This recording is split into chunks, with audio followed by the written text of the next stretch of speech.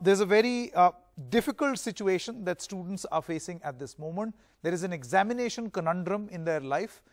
Let's quickly take a look at the anxiety timeline of the students. These are testing times, not just for everyone else, but particularly for uh, students who have to take their test, their examinations. So in, so in March, board exams were postponed due to the coronavirus lockdown, as you're all aware. Then there was no update on examinations during the lockdown, as you're also aware because there was a lockdown. On the 9th of May, CBSE and the Education Ministry announced board examination schedule from the, uh, from the 1st to the 15th of July.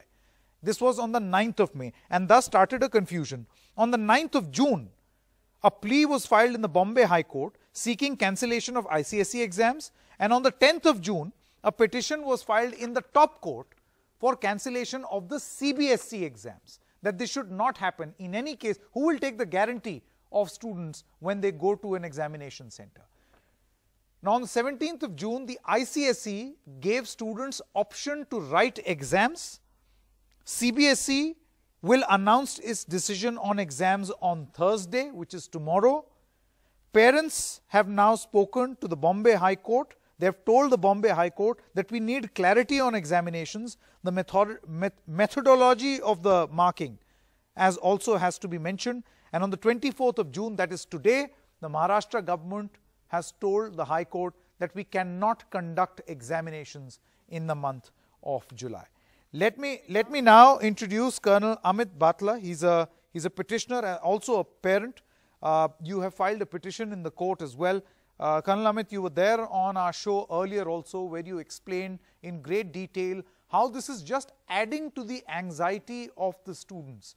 A student who's already extremely, extremely disturbed, mentally occupied with the tension and pressure of what he sees around him, the coronavirus. And then this dilemma, whether I will be asked to write or take the examination or not. Yeah, Sanket, good evening. And uh, thank you, NDTV, once again for your continued coverage on this and being a great support to all the children and the parents. And like Sanket, what you have highlighted, uh, with the rising number of cases every day, with five days left for the exams to start, the anxiety levels, the tension, the fear of the children is only understandable. We have to look at it from the human angle. You know, these are 16, 17 year old children who were probably, like you said in your timeline, that uh, in March they had just about one or two exams left, and four days their exams would have been over. That time there were 500 cases. We could have probably got over with the exams then. But I'm sure uh, the decision was taken in the best interest of the children. Thereafter, when in May, and the timelines which you highlighted, May 9th, when the CBSE date sheet was announced, the director of the AIIMS had gone on record to say that July will be the peak time and the cases would be far too high the governments of Maharashtra, the government of Delhi has written to the CBSE on a number of occasions, telling them that they are not in a position to conduct these exams. And despite this, we have been delaying this decision. And even now, while I understand that the nitty-gritties of the proposal need to be worked out, we need to see that how the assessment will be carried out in a fair manner. But there are two parts of the decision. At least the first part of the decision that whether or not the exams will be held that must be taken immediately. We cannot have a situation five days down the line, the exams are to start, and today we are debating uh, whether we can have the exams True. or not.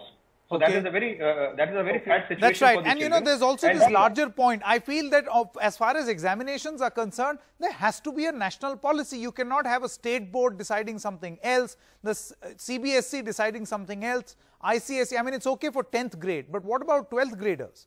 What will they do? This is a huge problem for them. Colonel Batla, do stay on with us. I've got Ria also. Uh, Ria Gupta is a grade 12 student from Sanskriti School in New Delhi. Hi, Ria. Uh, good evening. Hi, how are you? Good, very good. You tell me, anxious moments? Yeah, very anxious. I'm feeling very stressed right now. Do you um, want the I exams or not? What? Do you want the examinations or not? Do you want Absolutely exams? Absolutely not. I think it's a no. health okay. hazard and we shouldn't have these exams. Hmm. Why, why do you say that? Uh, not only will it put our health at risk, but I also feel like uh, we've been so stressed for the past few months, uh, whether if the exams will happen or they won't happen, and we've not been able to concentrate on our other entrances or any other important activities either.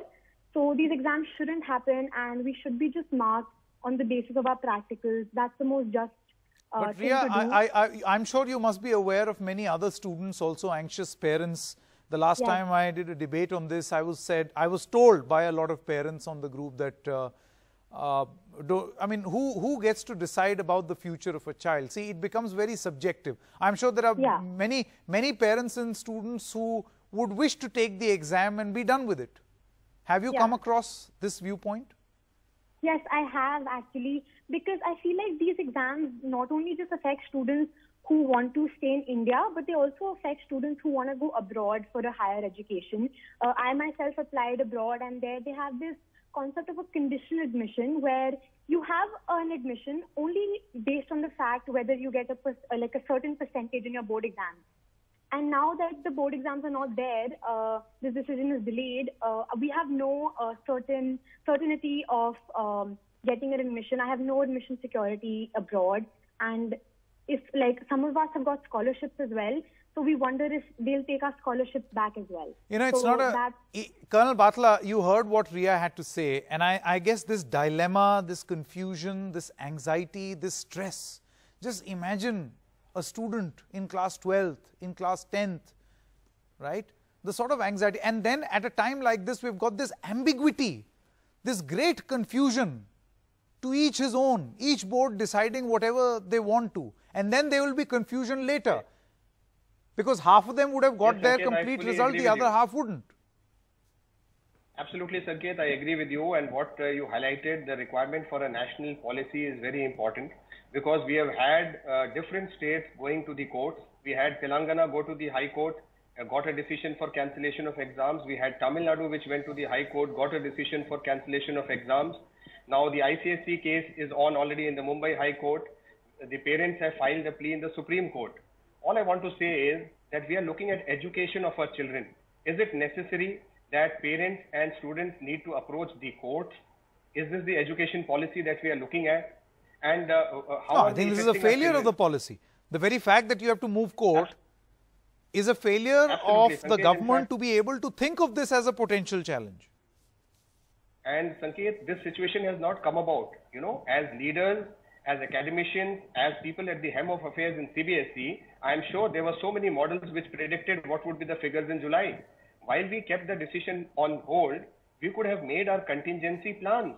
We all make our contingency plans, plan A, plan B. That is what we teach our children as well. So that decision and that contingency plan could have been made I think. Colonel Batla, I want to understand from you. I'm sure time. this matter uh, must have been in courts. Has anyone asked of governments and boards as to who will take the responsibility if even one student contracts this virus at an examination center? Who takes the ultimate responsibility? Yes, Sanket, that's a very, very relevant point which you are highlighting. And in fact, in the case of Tamil Nadu, when the state boards were being pushed, and to tell you very frankly, the state was hell bent on conducting the exams. Finally, and they gave their proposal that we are going to be taking A, B, C, D, E, F, G, H kind of precautions for the children. The decision was given when the court asked the board who will take the responsibility. Hmm. Will you take a guarantee that not a single child will be prone to an infection? And I'm sure the board could not take that guarantee. And once they could not take the guarantee, the decision had to be taken. So we are keeping the children on hold till the last moment. Okay. Even now, we have just five days left. Okay, so I think it'll be very interesting. The next few days are going to be extremely crucial when we can expect either the courts to intervene or, or perhaps the government to come up with a policy. But thank you so much, Ria. As we wrap this up, I just want to Thank know from you how much how much of pressure do you see yourself in, and can you can you smile this through, uh, smile through this journey, uh, maybe a year from now, laugh it off. That those were definitely be anxious interesting days. to look back, but for now, it's it's very stressful. Of course it is. Thank you so much, Ria. But do take Thank care of yourself and Colonel Batla. Thank you so much for joining us on this broadcast. That's a wrap in this edition of Trending Tonight, but news will continue on the other side. Stay tuned.